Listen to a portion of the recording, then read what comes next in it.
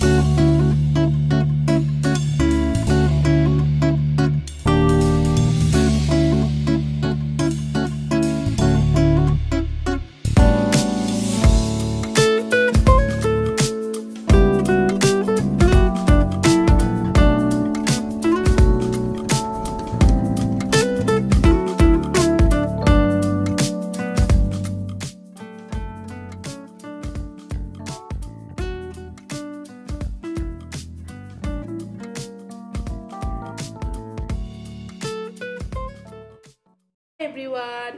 back my own channel Anjana blog আশা করছি তোমরা সবাই ভালো আছো, সুস্থ আছো।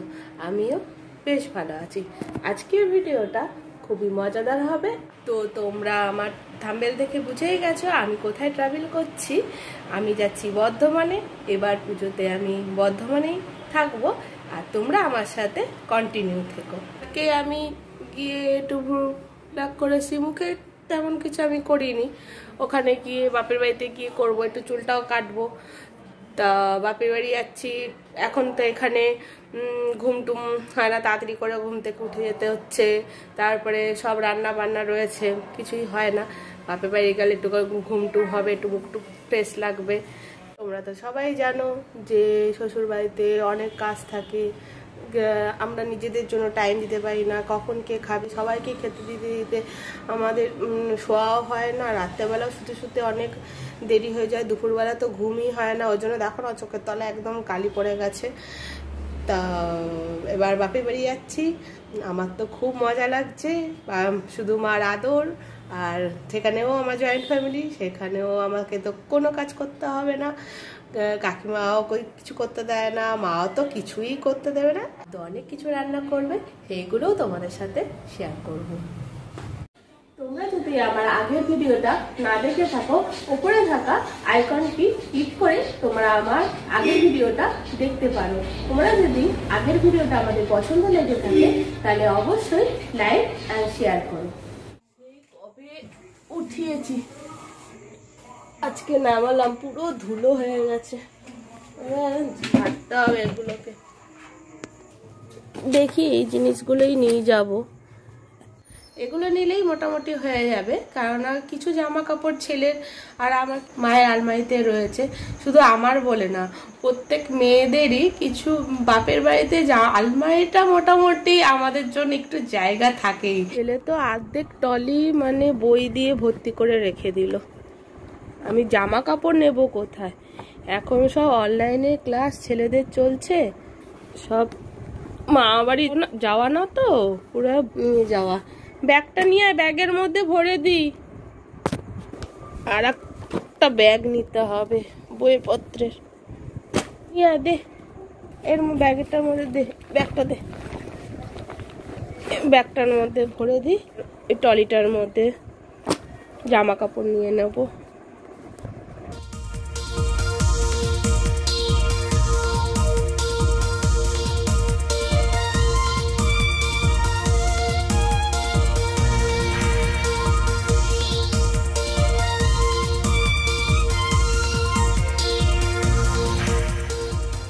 ছেলের বইপত্রগুলো আমি এই ব্যাগে নিয়ে নিলাম। ছেলেটা পিঠে নিয়ে নেবে।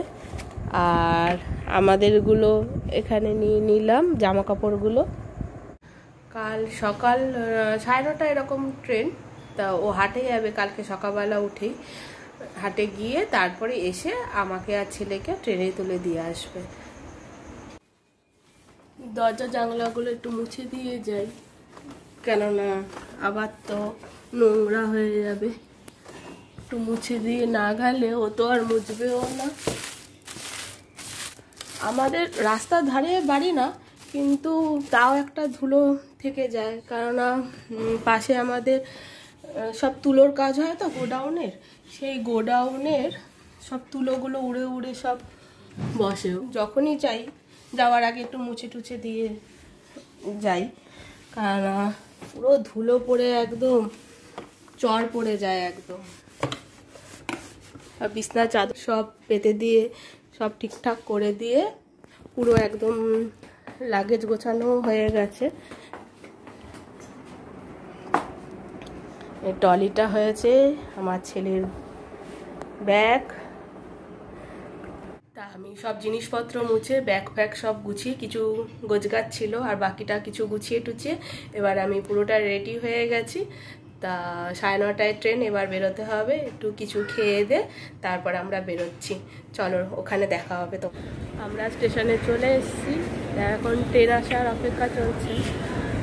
আসার সময় প্রচুর জল। ওরা বাবা, ছেলে দাঁড়িয়ে আছে স্যানিটাইজ দিচ্ছে।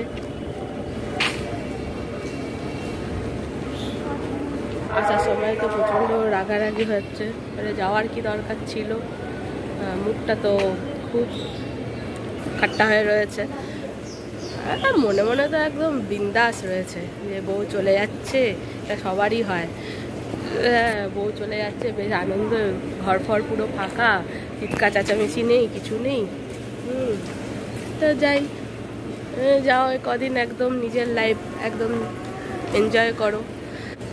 এখন দেখি ট্রেন মনে হয় ঢুকছে ট্রেনে উঠে তোমাদের সাথে আবার কথা হবে। আমাদের ট্রেন ঢুকছে। আমরা ট্রেনের মধ্যে উঠে গেছি। খুব ভালো লাগছে। অনেকদিন পর যাচ্ছি বাপের বাড়িতে। মনটা খুবই ভালো লাগছে। ছেড়ে তো বলে কখন পৌঁছাবো কখন পৌঁছাবো বলে যাচ্ছে ট্রেনে যেতে যেতে তো পুরো আড়াই ঘণ্টা পুরো লাগবে বর্ধমান যেতে। ভাই আসবে স্টেশনে নিতে। তা ভেবেছিলাম বাসে করেই যাব। বাসে করে আর গেলাম না দাঁড়া ডানকুনি যেতে হবে আমাদের বাসে করে। তারপরে একটু ঘোরা পর বাসে তাড়াতাড়ি চলে যেতে পারতাম। দেড় ঘণ্টার মধ্যে বাসে চলে যাওয়া যেত।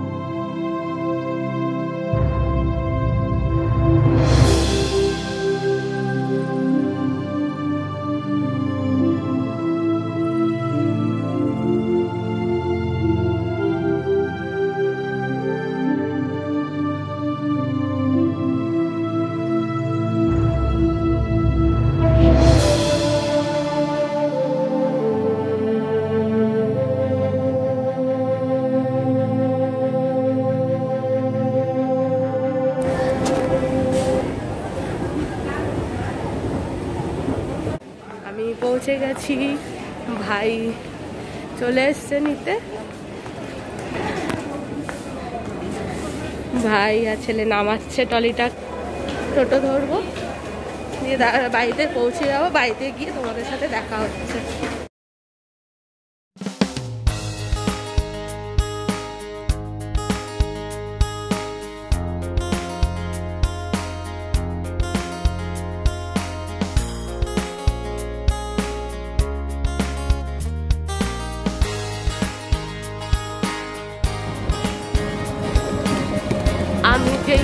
থেকে মাধ্যমিক দিয়েছি, এটা সেই স্কুল, তিন নম্বর হাই স্কুল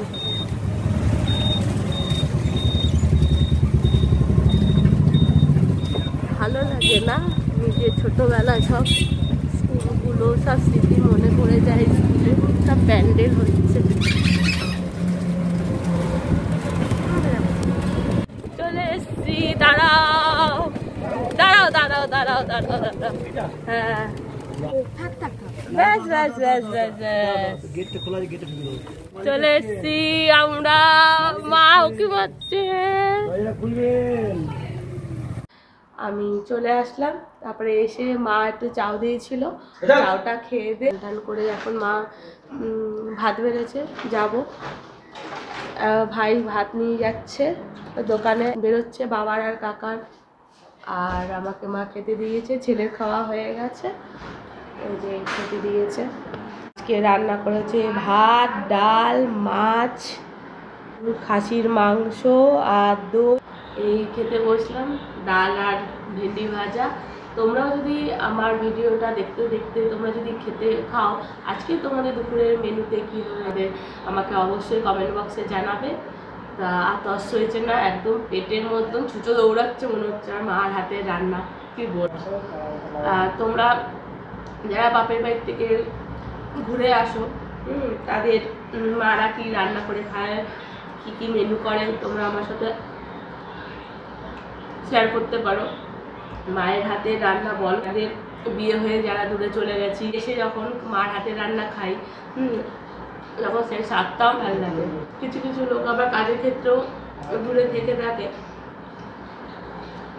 তারা নিজেরা রান্না নিজেরাই করে একা একা খায়। আর তারপরে যখন মার কাছে আসে, তো সেই রান্না বোঝাতে পারছি না। এবার আমি খাই। আর আমার ভিডিওটা তোমাদের যদি ভালো লেগে থাকে, তাহলে অবশ্যই লাইক করো আর কমেন্ট করে জানিও কেমন লাগল আমার ভিডিওটা। আর অনেক অনেক শেয়ার করো। আর তোমরা যদি আমার চ্যানেলে নতুন হয়ে থাকো, তাহলে অবশ্যই সাবস্ক্রাইব করো। আর পাশে থাকা বেল আইকনটি অবশ্যই ক্লিক করো যাতে আমার নেক্সট ভিডিওর নোটিফিকেশন তোমাদের কাছে তাড়াতাড়ি পৌঁছে যায়।